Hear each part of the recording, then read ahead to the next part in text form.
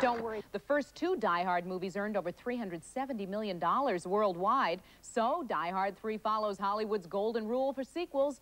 Everything's got to be bigger and scarier.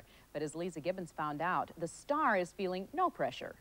So they made Die Hard, right? Die Hard 2, Die Harder. Now they're making Die Hard 3. I guess it must be Die Hardest. Well, the crew is calling it Die Hard New York, and that's where we are. This is Tompkins Square Park. Bruce Willis is on the set right inside these gates. And I understand that security is pretty tight because things in here are tense. Hi, I'm Bruce Willis. I'm Samuel L. Jackson. We're here for the Entertainment Tonight new sporting wear, sporting wear line we're promoting. I'm wearing the formal action shirt. White on white. Six. With action bloodstain. And Can't I'm beat sporting... Laughing at- And I'm sporting the new beachwear line. The special Get one feature for I your like. kid. If you press this button right here, ready?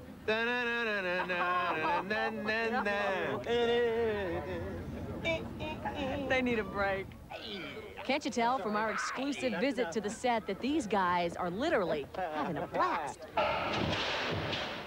This explosion, filmed on the streets of New York, is only one of the amazing stunts as Willis and reluctant partner Jackson try to foil a mad bomber. The scene here in the park, this terrorist bomber, madman, bad guy, Yes. has left some kind of a clue. He's left a bomb here in the park That's a that good clue. we have to find before he explodes it. From the looks of you in this get-up, I guess you get How am I um, doing? beat up pretty badly in this thing, This huh? is, yeah, I've, I've just fallen off a subway train uh, and that has exploded.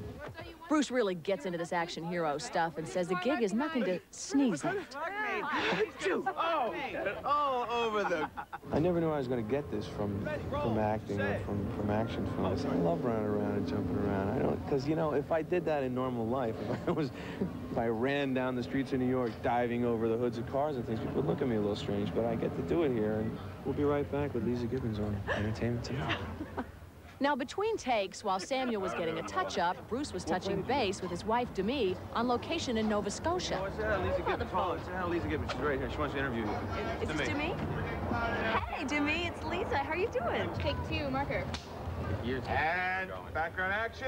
The guys are having a great time. One breath and then a decisive look out there. And bang, you're off it. How are the girls? Oh. Do you want to hang on?